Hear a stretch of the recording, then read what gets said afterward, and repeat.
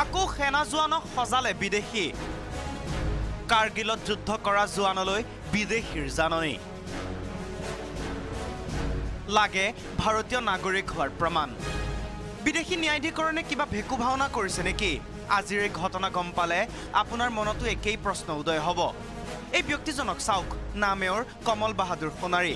B S এফৰ চৌৰাশী বেটেলিয়নত ঊনৈছশ ছয়সত্তৰ চনতে যোগদান কৰি চৌব্বিছ বছৰ চাকৰি কৰিলে এওঁ। দেশ সেৱাৰ বিনিময়ত এওঁ কি পালে জানে?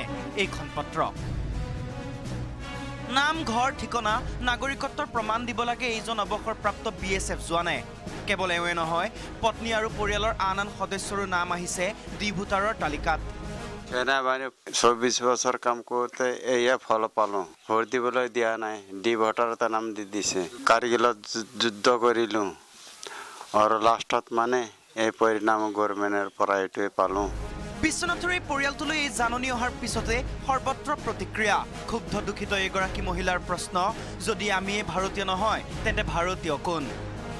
ভাৰত চৰকাৰৰ চাকৰি কৰা মানুহ এজন দেশৰ সৈনিকে যদি নাগৰিক নহয় নাগৰিক কোন হয়?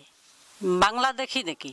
মই তেওঁৰ ৱাই ৱাইফ হয় মোৰো মানে ডি ভোটাৰ একে প্ৰশ্ন স্থানীয় দল সংগঠন তথা সচেতন ৰাইজৰ। যুদ্ধত ব্ৰতি থকা ব্যক্তি এজনক বিদেশী সজোৱা হৈছে আজি মই ভাৰত চৰকাৰক প্ৰশ্ন কৰিছোঁ এজন সেনা জোৱান যদি ইয়াত বিদেশী হয় তেনেহ'লে ভাৰতবৰ্ষৰ নাগৰিক কোন হয়? চৰকাৰে ইয়াত স্পষ্ট কৰি দিয়ক চৰকাৰে ইয়াৰ উত্তৰ দিয়ক। এফালে এন আৰ চি উন্নীতকৰণ প্ৰক্ৰিয়া ক্ষীপ্ৰ কৰাৰ দাবীত আন্দোলন প্ৰতিবাদ আনফালে ভাৰত চৰকাৰৰ হৈ কাম কৰি অৱসৰ লোৱা পেঞ্চনৰ পইচাৰে ঘৰ চলোৱা এওঁৰ দৰে ব্যক্তিলৈ বিদেশী ন্যায়াধীকৰণৰ জাননী।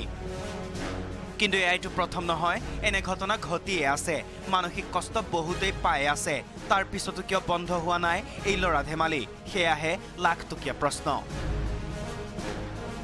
বিশ্বনাথৰ পৰা Tushar Hazarika news eighteen Assam north east